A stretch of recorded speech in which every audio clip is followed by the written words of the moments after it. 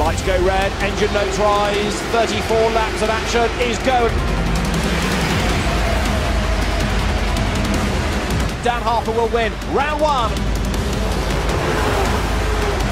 Webster to the outside again, and there's contact. Harper sideways out of the chicane. Esmee Hawkey gains the place though, up the curve, over the curve, through she goes. He, I fear, is not going to go a whole lot further. Drama at turn two.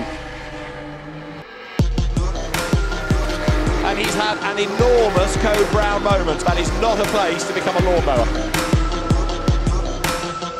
Wow, that was a peach of a move. Timed that beautifully. The 2019 Porsche Carrera Cup GB champion. And that is the sweetest result of all.